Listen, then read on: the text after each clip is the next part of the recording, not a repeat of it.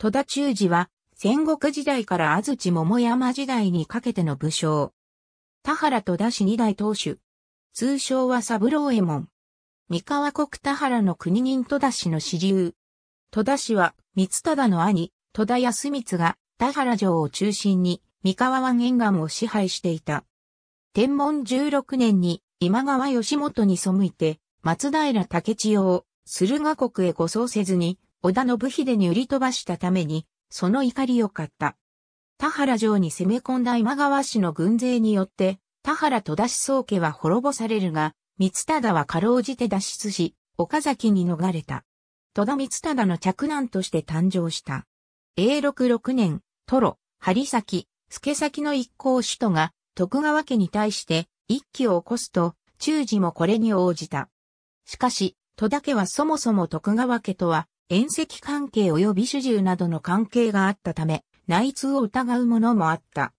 これを恨んだ中治は200の軍勢をもって、翌7年、徳川方に転じ、徳川家康に謁して、一騎鎮圧の軍勢に加わった。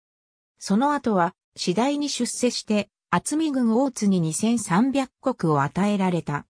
その後も、永禄11年12月からの演習侵攻に始まり、翌年正月の掛川城攻め、元気3年の三方ヶ原の戦い、駿河国田中城攻め、天正12年の小牧、長久手の戦い、天正18年の小田原征伐などで功績を挙げた。徳川家の関東違法に伴い、伊豆下田城、五千国の放置を与えられた。豊臣秀吉の文録、慶長の役の折には、中治は、老齢の見ながら、非全国名古屋城に行った家康に謁して、もし、徳川軍の朝鮮出陣あらばをして従軍せんことを、こうたという。秀吉はこれを聞き、奏者の機関と称賛したという。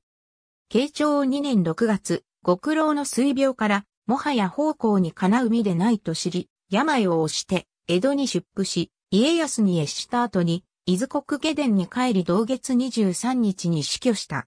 去年67。法名は、玄武氏。着氏の御事継が家督を継いだ。ありがとうございます。